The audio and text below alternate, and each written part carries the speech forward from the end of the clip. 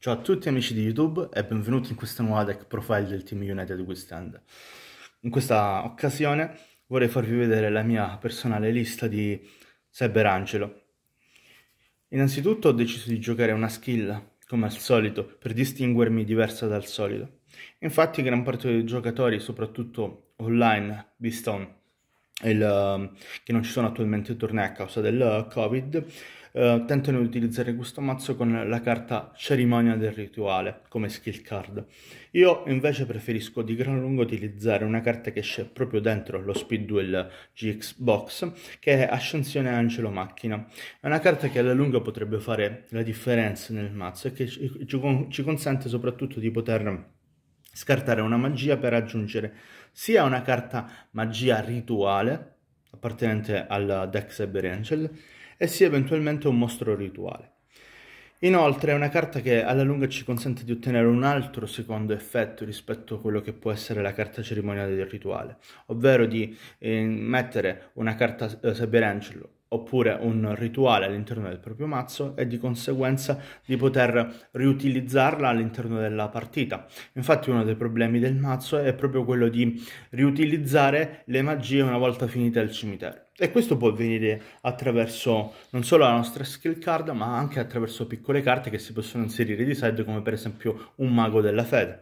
Ma questo sta poi a voi la scelta soprattutto di che tipo di side deck utilizzare. Quello che vi posso consigliare è invece il main deck, che ho deciso di comporlo in questo modo. Innanzitutto due copie di Saber Angel Izana. Ho deciso di non giocarla in 3 per perché in questa speciale build di poche carte è importante velocizzare soprattutto l'attacco. Eh, infatti quello che vi consiglio è di ehm, giocare molto aggressivi poiché la chiusura del match deve avvenire in uno massimo due turni. Anche perché nel momento in cui la partita durerà più turni sarà molto più difficile tentare di uh, poter vincere. Di conseguenza è importante alla fine dell'utilizzo del mazzo tentare di portare degli attacchi immediati al vostro avversario tentando anche comunque di distruggere le sue back row come attraverso carte come per esempio la stessa Zana o altre magie che poi vedremo Izana è una carta che una volta evocata ci consente innanzitutto di poter mm, far sì che l'avversario selezioni una delle proprie magie o trappole e la deve obbligatoriamente mandare al cimitero. Una particolarità è che eh, carte come per esempio Waking the Dragon non partiranno, quindi non applicheranno i loro effetti. Inoltre è una carta che ci consente di uh, poter attaccare due volte all'interno dello stesso turno qualora l'avversario presenti due mostri, quindi riesce ad attaccare due mostri in un turno.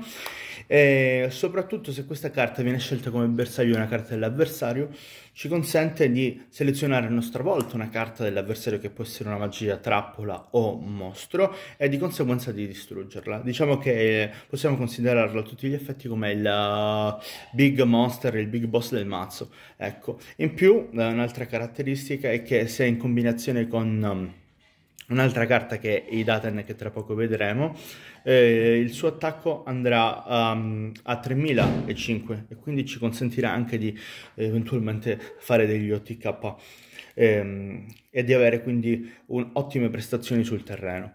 Un'altra carta in 3x, questa qui è veramente il motore del mazzo è la carta Ben 10. È una carta che, se evocata, ci consente innanzitutto di avere delle soluzioni di chiusura contro il mazzo dell'avversario, in quanto nel momento in cui distrugge un mostro dell'avversario in battaglia, non solo faremo del danno eh, in relazione alla differenza tra il nostro attacco eh, di Ben 10, quindi e del mostro dell'avversario, ma potremo applicare anche il suo effetto e quindi di infliggere ulteriore danno da effetto in relazione a quella che è la difesa del mostro dell'avversario.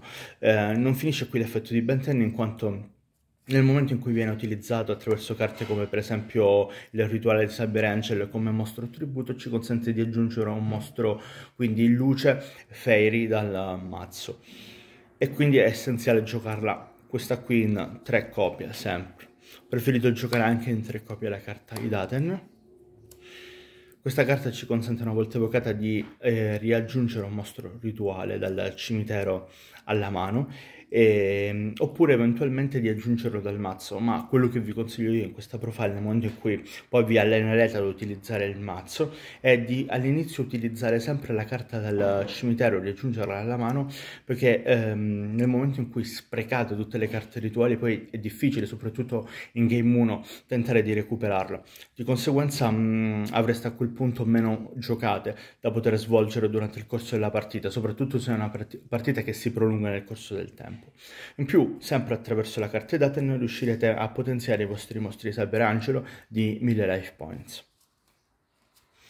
Altra carta essenziale è la carta Senju.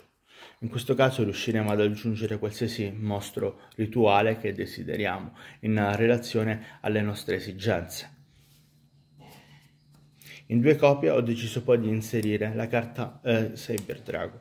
Il motivo è molto semplice, innanzitutto è un mazzo che um, deve iniziare la partita possibilmente andando, partendo come secondi, quindi di conseguenza quando l'avversario aveva molto probabilmente un mostro riusciremo ad evocarlo specialmente sfruttando il suo attacco che è di 2100, ma soprattutto è un livello 5 quindi ci aiuta in combinazione con la carta rituale dell'angelo macchina per evocare soprattutto mostri con un elevato numero di stelle come ad esempio Izana oltre a consentirci anche eventuali giocate da one to kill, quindi da OTK. Eh, poi giocheremo una carta essenziale ai fini dell'utilizzo del mazzo che è il rituale dell'angelo macchina, che ci consente praticamente di tributare mostri dal terreno, eventualmente dalla mano per evocare i nostri cyberangeli. La combinazione più forte ragazzi che potete fare è all'inizio utilizzare un rituale Angelo Macchina in combinazione con Ben 10 e Idaten. Come fare?